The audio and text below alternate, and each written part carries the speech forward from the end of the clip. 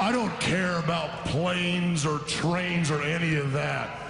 I want another Universal Championship match against Brock Lesnar. Let's do it. Let's do it. Done. Done. Okay. That's But easy. before that, I want Baron Corbin. Oh, Done. done. That's easy. I want to pick the stipulations. Done. Rip Baron Corbin. Then good. You make sure Corbin signs a waiver so I'm not responsible for the damages. Oh my god. Oh, rip.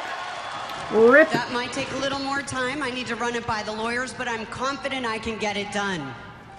On one condition you don't lay a hand on Baron Corbin until after Survivor Series. All right. I mean, it seems You reasonable. that you're a team player. You need to prove that you are a proud member of the Raw roster, and then you can have whatever you want. But if he instigates, all all bets are off. Well, I better. Because if I don't, I'm going to WWE headquarters and I'll destroy the whole building. Yo, he will. He'll pick that. He'll pick that building up. Understood. Flip Listen, I'm things. not trying to manipulate anyone. I'm being very transparent about what I want and how I want to get it. I'm here to motivate everyone on the Raw roster monster, man, woman, champion, machine.